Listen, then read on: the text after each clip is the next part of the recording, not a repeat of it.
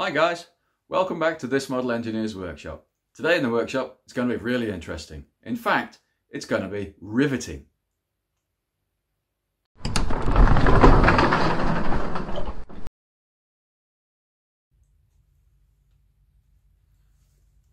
Hi guys, I'm the chef. Today, as I just said, we're going to be drilling some holes and doing a lot of riveting. So here I've got first of the two uh, angle irons in the vise that uh, hold the pump stay in the middle of the locomotive. There's the second one with the hole pattern already drilled in it for the bolts that hold it to the frames. In this face, there'll be going the holes for the rivets that hold it to the pump stay itself. So this is set up in the vise, done the zeros as usual from the corner of the vise.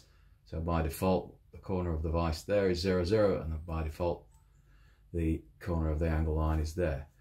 Got the trusty little drawing by my side, all the dimensions worked out. So it's now a case of drilling two rows of four into this, to do the same again with that one, two rows of four.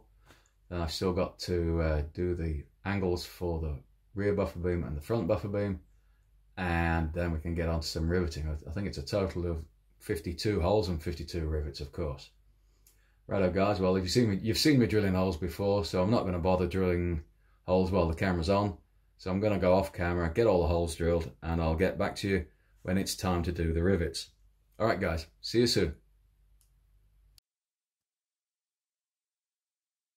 Hi guys, back again. So that's 52 holes drilled. Can't resist the temptation. This is great fun.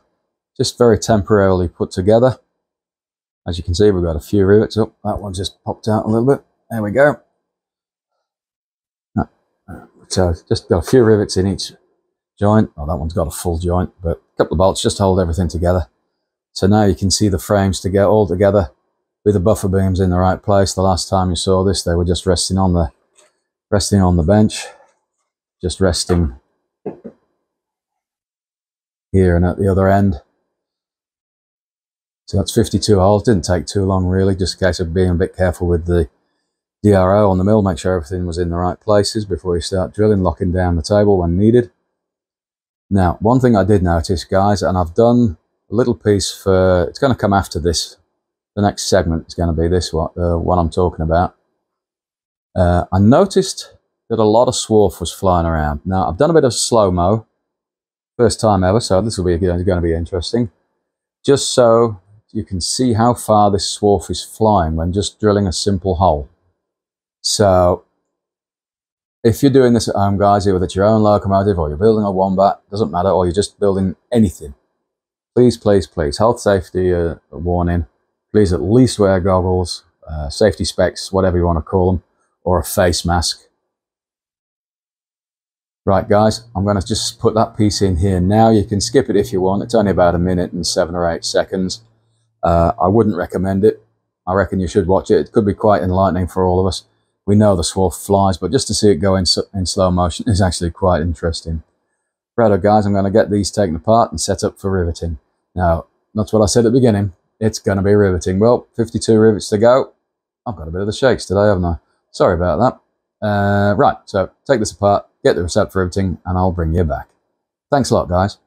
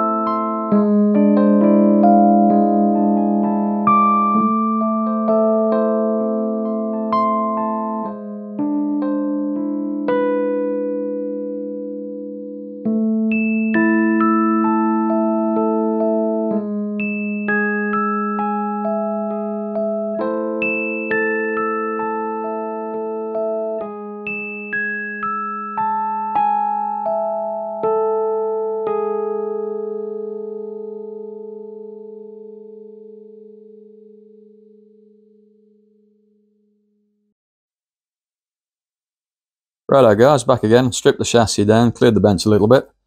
So as you can see, here's one of the uh, pump stay brackets. Nice and all drilled and tapped and everything ready to go. I've got the first one on the pump stay. Eight holes to rivet. Got seven bolts in there with nuts. That's just to make sure that while I'm riveting, nothing moves and I'll take those out one at a time put those in nice and easy used my little spanner set from a previous video. So easy peasy now I'm going to get this uh, into my homemade rivet press. Uh, go back to video number 12 if you want a quick description on that. Nice and easy this thing. Didn't take long to make but it does a damn good job or it did on the uh, tender anyway. I haven't used it since then so it's up but it's all the same. Nothing's moved by the look of things welding's still crappy. It was crappy back then and it's crappy now. Right, so I'm going to put you down and get, well, I'm not actually going to put you down. I'll get you onto the tripod and then I'm going to get you in as close as I can and as low as I can so you can actually see the rivet press working. I'm going to be do, using my 24 inch breaker bar on that big bugger there. And uh, hopefully you'll be able to see this thing actually compressing the iron rivets of which I've got here. I've got bag, a few bagfuls of them. These are 3 16th by 3 quarter uh, rivets. This is what the drawing calls for. You could imagine that why don't we uh, just bolt everything together? Well, I suppose if you got the right bolt and the right fit, you probably could, but the drawing calls for rivets, so I'm going to do rivets. Right, guys, I'm going to get you onto the tripod, to get you down in the position so you can see what's going on. Okay, back in a second. Righto guys, so that's it set up. You can see the pump stay, here's the angle, just in there. You can possibly just still make out that the rivet, here's the anvil with a dimple in it. This is the big 20 mil bolt that I used. That's also got a dimple in it. And it was a dog bolt, so a dog shape bolt, I think they're called. Just so I didn't have to turn that down. Now, up here, let me just see if I can position you again. Yep, there's my breaker bar. I'm not going to show you me, me swinging that around, but I'll just leave this here. Now, if I can remember correctly from doing the tender, there we go. Took about two and a half full turns, two and a quarter. So it doesn't really take long and it doesn't take a lot of effort. So I wish I could get a bit more. I wonder. Just give me a second. I wonder what I can use. Let's see if I can just put a bit of paper behind that. Excuse the noise. There we go. Maybe that'll work a little bit, just so I can. Yes, that's perfect. Now, now, so in here, there's the rivet. I've put a little bit of blue. Oh, there's some on my finger. Blue lithium high pressure grease on the inside of the dimple here. Not on this one because this one needs to stay still. This is the one that this is rotating, so it's going to kind of, as it screws down, you don't really want to be twisting the rivet, you want to be compressing it. Right, so here goes. This is turn number one.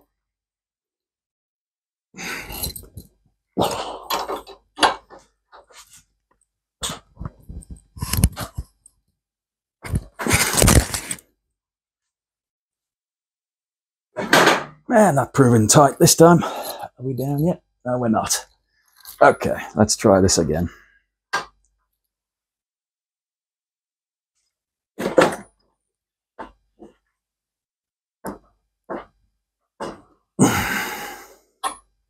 Well, it's moving. Oh, I see what I've got done wrong. Okay.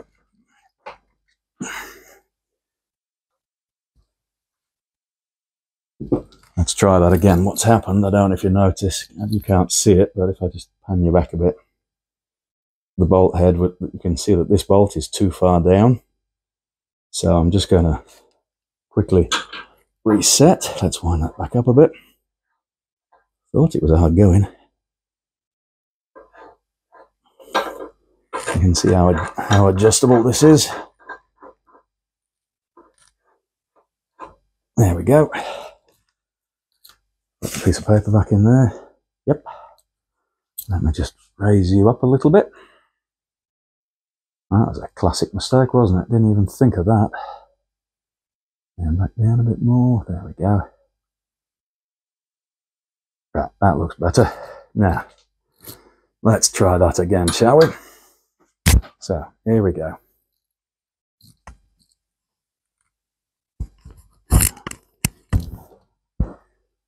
There we go. That's about two turns. Yeah, about two and a quarter. Just loosen that off. Take off the breaker bar. Take out that so it doesn't drop. Lift this out. Now,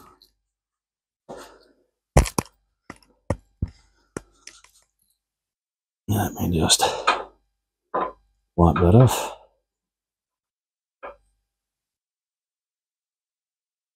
There we go. One nicely formed rivet head. That one is in and it ain't going anywhere. That's as tight as it will go. Yep, yep, that rivet head's all the way down. There we go. Right. Won't show you doing all eight of those because that is going to be boring. So at this moment in time, I'll stop the video, get the others in, and I'll bring you back when I'm done.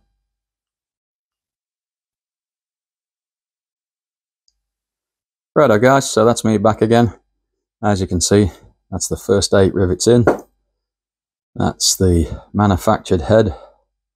That's the rivet press head.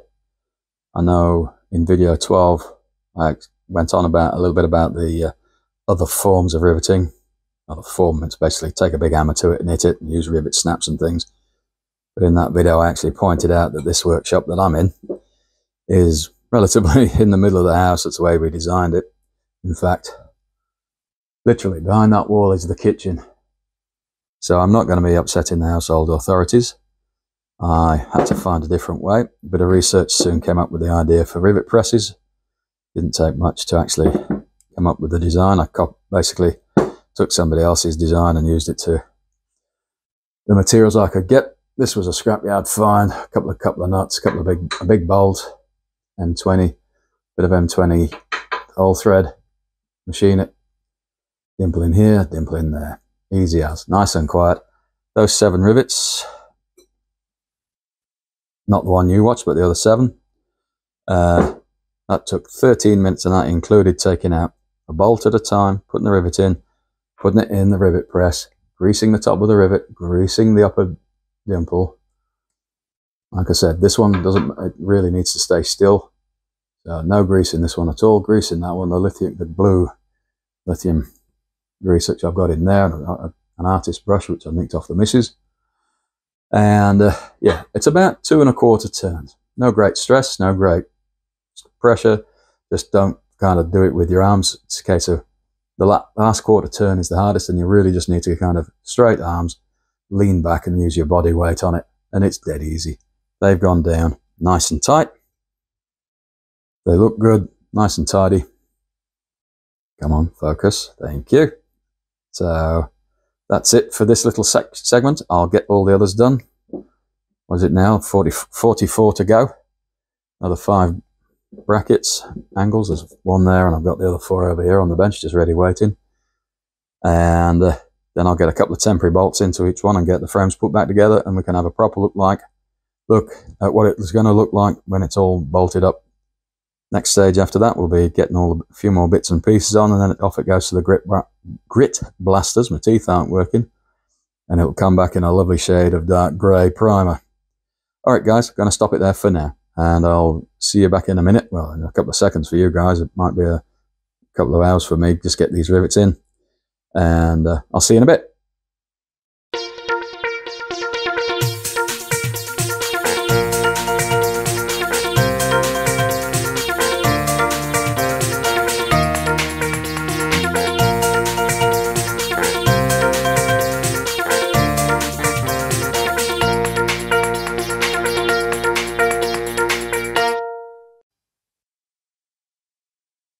Righto guys, back again.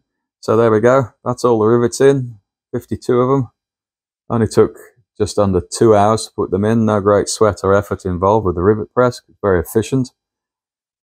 Uh, as you can see, they look really pretty. They've come up really, really nice. These are the manufactured heads, of course. That's the rivet press heads. But you get, you're given a choice of two, either a good side or a less good side. So you always put the good side on the outside, don't you? Right, so a few things to do before I do a test run back to putting the frames together.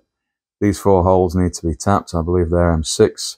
These two and those two also need to be tapped, but I believe they're M8. So I'll check that out on the drawings and I will get back to you once I've got that done and the frames are put together and I'll give you a full length shot of that. And that will bring this video to a close for this week. Righto, guys, I'll be back again in a few minutes. Just give, just hang on. Righto, guys, back again. Didn't take too long. Managed to tap the holes. You're in here, eh, M8, both front and back. The, the pumps stay here. These holes are clearance M5, so I didn't actually have to tap those in the end, which was good. Didn't make it a great difference. Four little tap, tapped holes wouldn't take up a lot of time. There it is, guys. There's the Loco frames. They're all together, just temporarily. They've got to be stripped apart, and then they'll go off to the grit blaster and get them painted sometime. Got a few things to add to them in the next uh, video, probably, or the next couple of videos. Uh, bit of uh, Loco frame furniture, I suppose, is the best word. Got four of these spring blocks to put on. Four springs in each. They've been made a while now. I've just been waiting to drill and tap the holes, and then they can be mounted up. Yeah, I've got a little sub-assembly just to put, put together, just to have a look, see what it looked like. Two horn cheeks and the keeper plate. The keeper plate locates into little slots there and there, because of course this depth has been reduced to this depth, and it's just to stop the frames splaying through time. Not that I think they would. 6 mil steel, and that's what, 50, 60, 65, 70 thick. It might flex a little bit, I suppose, with the power of the loco. It might start to wreck backwards and forwards a little bit, but uh, they're going in. They're on the drone. Uh, I have found one mistake, which got duplicated because of the two side frames, but I'll go into that in the next video or the next one or the one after that, as I say, but I'm not going to tell you what it is just yet. Maybe some of you might be able to work it out. I'll just pan along the frames so you can see the whole thing now. Resting on the top of it there, I have a meter rule. And we get to the end and it's telling me 92.6, 926 millimeters long. Some of the furniture are the couplings that go on each one and go on each end. That's what the M8 holes are for. Again, crappy welding. I'm not a welder, I'm a chef. Yep, bubble gum. I'm going to have to get back onto that and get a bit more practice done. Then it'll get quite easy. That was TIG welded. Uh, so there's very few, very little smoke and sparks from that because, as I say, this workshop's in the middle of the house. Right, so guys, that's the end of this video for this time.